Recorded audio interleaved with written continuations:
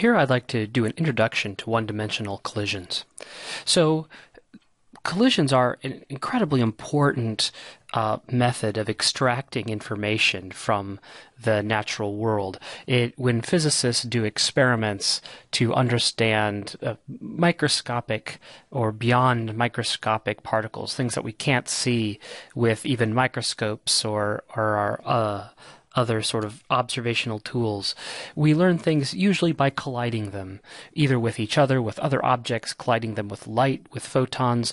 Collisions are uh, an incredibly important part of the, the scientific process. So we want to start a little bit about um, collisions in, in one dimension.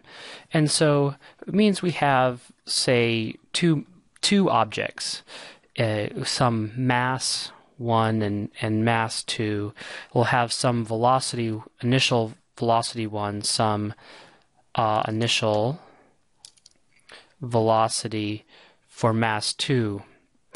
And these these objects then are going to collide. They don't necessarily have to be going in opposite directions, but with different velocities they eventually make contact. So a collision has three stages. There's a before, which is before they make contact and they have these these initial conditions. Then there's some collision. We'll call this the during phase.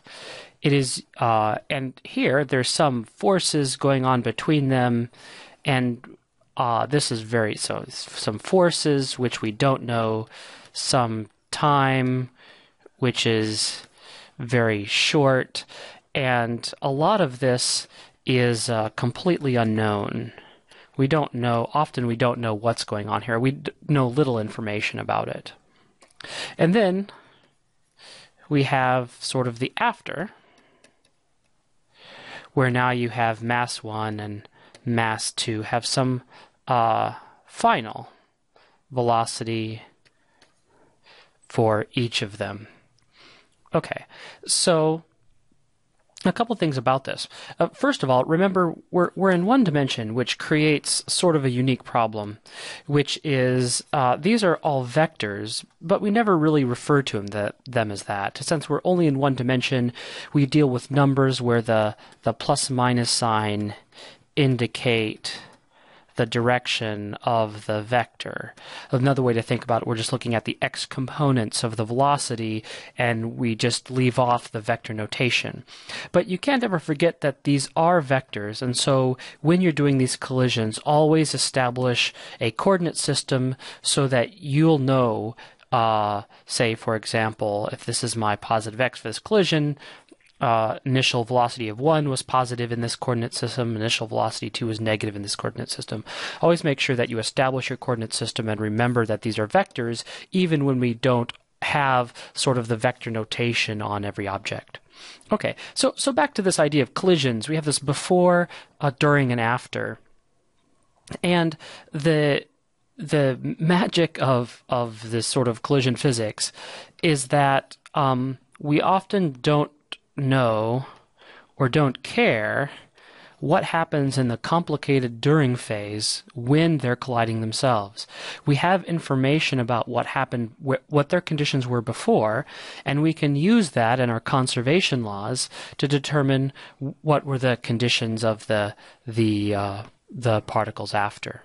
Okay, so what's how can we do this? So the first thing that that we often um, say about this during so sort of that helps us helps us with this is that the uh, collision phase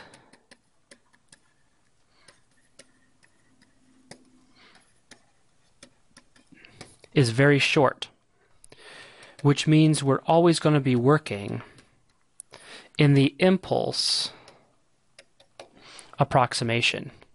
And so in the impulse approximation, then, momentum is conserved. So that's the one thing that we have going for us in these collisions that the momentum is conserved. Now, um, to know something about energy, that we don't have to know anything in particular about the types of forces that are going on internally. We just have to know that the impulses due to external forces are very small over the time of the collision, and that's almost always true. But now let's go, if we go into the collision itself and know something about the forces, we want to ask are they conservative or not? We may not know the size of the forces their magnitudes or how they're interacting, but if we can at least identify from the types of the forces that they're conservative forces, then we know that energy is conserved in the collision. Now, if energy is conserved in a collision, that's called elastic collision. So that's an important term to remember. Elastic collision means that energy is conserved. But that may not be true.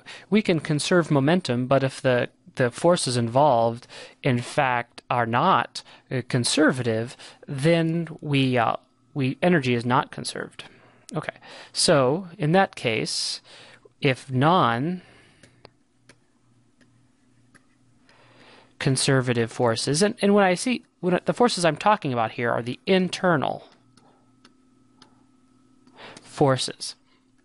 The forces that are taking place uh, internally that the, the two objects exert on each other during the collision. Okay, so if non-conservative forces are acting, then uh, energy is not conserved. And this is called an inelastic collision.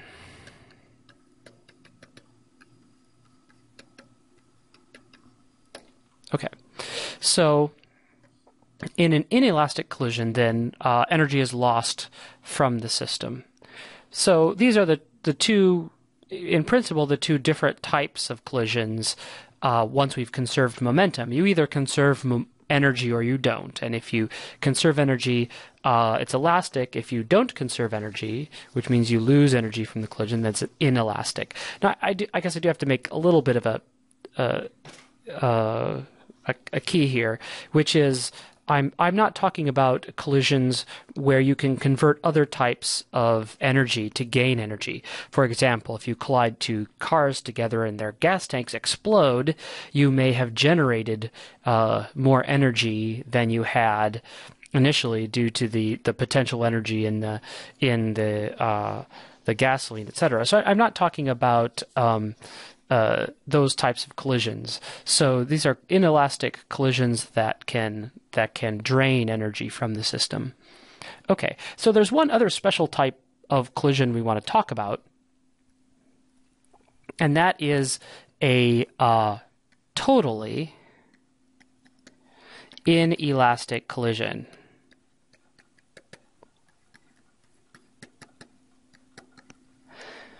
So, a totally inelastic collision between two objects has one very uh, obvious characteristic, which what that and and that is that the objects stick together. Now, that's a, a, very easy way to identify that you have a totally inelastic collision. You're given a problem where you have two objects, they collide and they stick together. That's a red flag. Ah, that's a totally inelastic collision. But it's not entirely obvious why this particular collision is so important. And the reason is this collision gives you maximum, and that's why it's called totally inelastic, maximum kinetic energy loss. In an inelastic collision, you lose the most kinetic energy that you possibly can. Now, and the way to see that is to look at a collision in the center of mass frame. So I have two objects, M1, V1, M2, V2. Okay. They, they're, if I'm the, by rest frame, I can see these two coming together. But now let's, let's move to a center of mass frame and transform and, and watch the same collision. Okay, initially,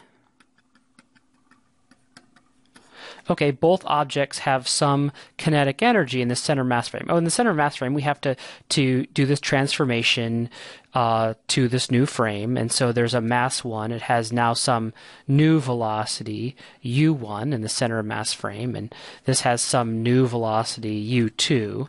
It, I, and I'm not doing the transformation here, but it's a it, we're we're doing our uh, transformation between relative motion in, in in relative frames, and so the these two objects have new velocities in the center of mass frame. Okay, so initially, uh, there's some kinet. This system has some kinetic energy, which is equal to one half m1 u1 squared plus one half m2 u2 squared. Okay, but after the collision, what happens?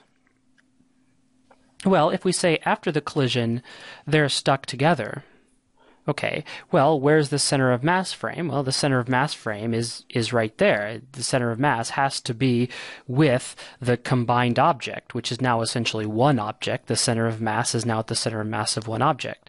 Well, the center of mass is not moving in the center of mass frame.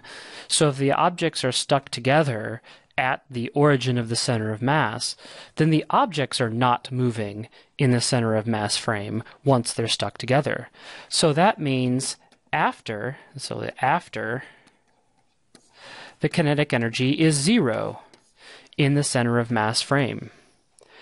And so I just did a transformation of coordinate systems. I didn't change anything physically about the system. And since you can't ever lose more kinetic energy, uh, you can't ever get negative kinetic energy, this is the maximum amount of kinetic energy that you can lose. And so that's the essence of a totally inelastic collision. The it you lose all of the kinetic energy that you have as measured in the center of mass frame. Okay, so so, collisions are a way that the study of collisions a way we're trying to determine what happens to systems after a collision, giving information about their conditions before the collision, knowing as little as possible about the interactions between them.